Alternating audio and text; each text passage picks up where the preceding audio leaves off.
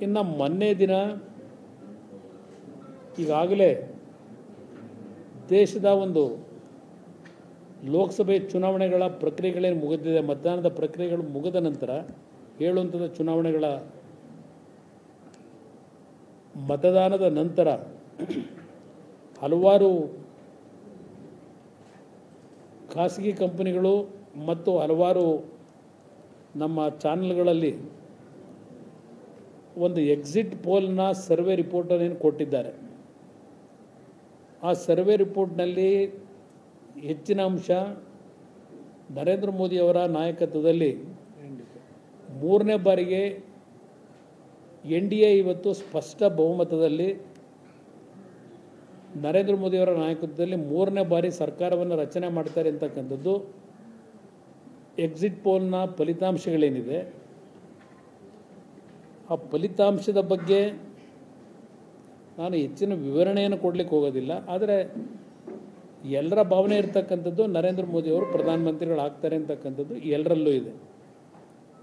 ಇವತ್ತು ಕಾಂಗ್ರೆಸ್ನ ನಾಯಕರುಗಳ ಹೇಳಿಕೆಗಳನ್ನು ಇಂಡಿ ನಾಯಕರ ಹೇಳಿಕೆಗಳನ್ನು ಗಮನಿಸಿದ್ದೇನೆ. ನಾನು ಅದಕ್ಕೆ ಹೆಚ್ಚಿನ ಮಹತ್ವ ಕೊಡಲಿಕ್ಕೆ ಹೋಗೋದಿಲ್ಲ. ಆದರೂ ಒಂದು ಈ ಸಂದರ್ಭದಲ್ಲಿ ಕಳೆದ ವರ್ಷ ಚುನಾವಣೆ ನಂತರ, ಅಸೆಂಬ್ಲಿಯ ಚುನಾವಣೆಗಳಾದ ನಂತರ, ವಿಧಾನಸಭೆಗೆ ಕೇಂದ್ರದ ಗೃಹ ಸಚಿವರು ಮತ್ತು ಬಿ ಜೆ ಪಿಯ ರಾಷ್ಟ್ರ ಘಟಕದ ಅಧ್ಯಕ್ಷರು ನಡ್ಡಾ ಅವರು ಮತ್ತು ಅಮಿತ್ ಶಾ ಅವರು ನನಗೆ ಏನೊಂದು ಆಹ್ವಾನವನ್ನು ಕೊಟ್ಟು ಎರಡೂ ಪಕ್ಷಗಳು ಒಂದು ಮೈತ್ರಿಯ ಒಡಂಬಡಿಕೆಯ ಮುಖಾಂತರ ಮುಂದಿನ ದಿನಗಳಲ್ಲಿ ರಾಜ್ಯದಲ್ಲಿ ಒಟ್ಟಾರೆ ಹೋಗಬೇಕು ಅಂತಕ್ಕಂಥ ಒಂದು ಸಲಹೆಯನ್ನು ನನಗೇನು ನೀಡಿದ್ರು. ಆ ಹಿನ್ನೆಲೆಯಲ್ಲಿ ಭಾರತೀಯ ಜನತಾ ಪಕ್ಷ ಮತ್ತು ಜನತಾದಳದ ಒಂದು ಮೈತ್ರಿಯ ಹೊಂದಾಣಿಕೆ ಮುಖಾಂತರ ಈ ಚುನಾವಣೆಯ ಲೋಕಸಭೆಗೆ ನಾವು ಹೋರಾಟ ಮಾಡಿದ್ದೇವೆ. ಈ ಒಂದು ಚುನಾವಣೆಯಲ್ಲಿ ವಿಶೇಷವಾಗಿ ಗೌರವಾನ್ವಿತ ಪ್ರಧಾನಮಂತ್ರಿಗಳು ದೇಶದಾದ್ಯಂತ ಸುಮಾರು ಇನ್ನೂರಕ್ಕೂ ಹೆಚ್ಚಿನ ಸಭೆಗಳನ್ನು ಮಾಡಿರತಕ್ಕಂಥದ್ದು ಒಂದು ಭಾಗ.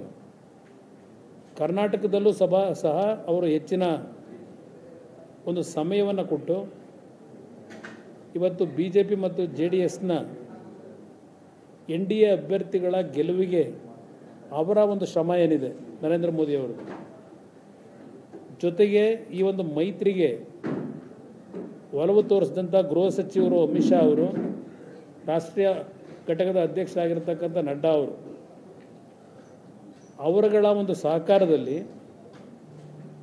ಬಹುಶಃ ಕರ್ನಾಟಕದ ಚುನಾವಣೆಯ ಫಲಿತಾಂಶಗಳು ನಾವೆಲ್ಲ ಏನು ನಿರೀಕ್ಷೆ ಇಟ್ಕೊಂಡಿದ್ದು ನಾನಂತೂ ನಿರೀಕ್ಷೆ ಇಟ್ಟಿದ್ದೆ.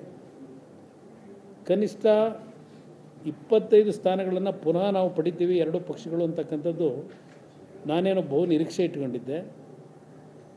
ಇವತ್ತು ಆ ನಿಟ್ಟಿನಲ್ಲಿ ರಾಜ್ಯದ ಮತದಾರರು, ಭಾರತೀಯ ಜನತಾ ಪಕ್ಷ ಮತ್ತು ಜನತಾದಳದ ಅಭ್ಯರ್ಥಿಗಳಿಗೆ ಹೆಚ್ಚಿನ ಒಂದು ಬೆಂಬಲವನ್ನು ನೀಡಿದ್ದಾರೆ ಅಂತಕ್ಕಂಥದ್ದು ಎಕ್ಸಿಟ್ ಪೋಲ್ನ ಫಲಿತಾಂಶ ಇವತ್ತು ಹೊರಗೆ ಬಂದಿರತಕ್ಕಂಥದ್ದು.